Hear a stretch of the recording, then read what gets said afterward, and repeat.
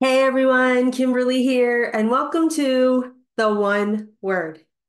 So, what is the one word that you could come up with that would help you keep your intention and your focus and your conscious pursuit for the rest of the year?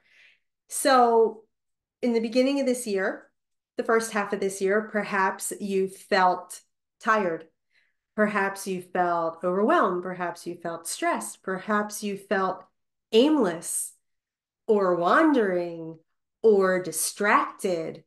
I mean, how many people, to be honest, to be honest, I'm going to rephrase that. How many times during the day are you not purposefully marching toward your goals?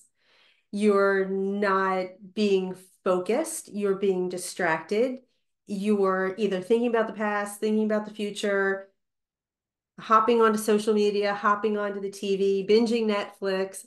I don't know. What would be the one word for the year that would be indicative of how you want the rest of your year to go? So maybe you want the rest of this year as an overall word Maybe you want the rest of this year to be intentional, conscious, aware, something that gives you the feeling that you're in control, that you're in command, that you're in charge, that you're living large, right? So, what would the one word be for the entire year? And as a bonus, for your physiology, what would be a word for your physiology, your intention for the rest of this year? Maybe you want to feel energized. Maybe you want to feel strong. I don't know. What would be a word for physiology? Maybe even radiant. I don't know. That could work for physiology.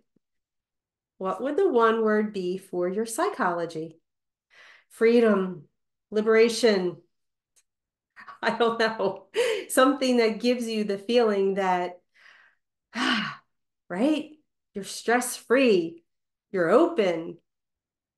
Psychology, what would your word be? People. What would your word be for people? So you're interacting with people, maybe you want to feel generous. Maybe you want to feel kind. Maybe you want to feel helpful with people the rest of this year. Just a word that kind of guides your interactions with other people. Your projects. Maybe you want to be disciplined. Maybe you want to be focused. Maybe you want to be centered. Maybe you want to be excited about your projects. I don't know. What's one word you could assign to your projects? And your purpose. You, this is you. This is your fulfillment. This is your meaning. Maybe it is fulfillment. That's your word. You want to feel fulfilled.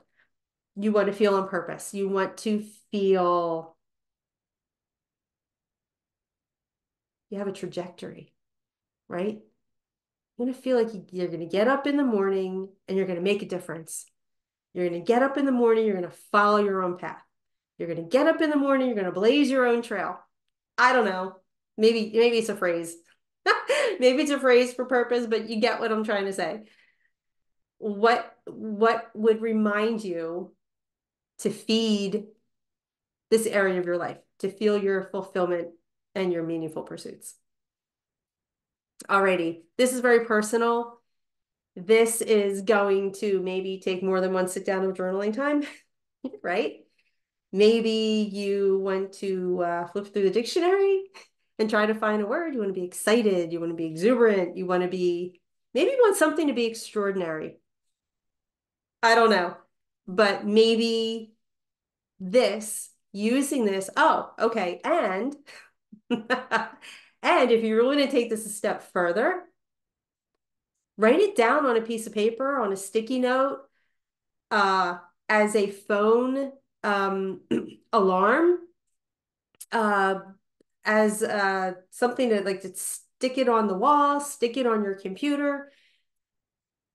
take a picture of it with your phone, print it out, get an actual, you know, picture nice little glossy picture of of your words and and just to remind you every day like this is what i truly want for myself in these areas of my life and this is going to be how i'm going to show up this is going to be how i'm going to pursue these different areas of my life so that at the end of this year i can tick off the box that I have lived these words. All right. Think about that. All righty. Till next time.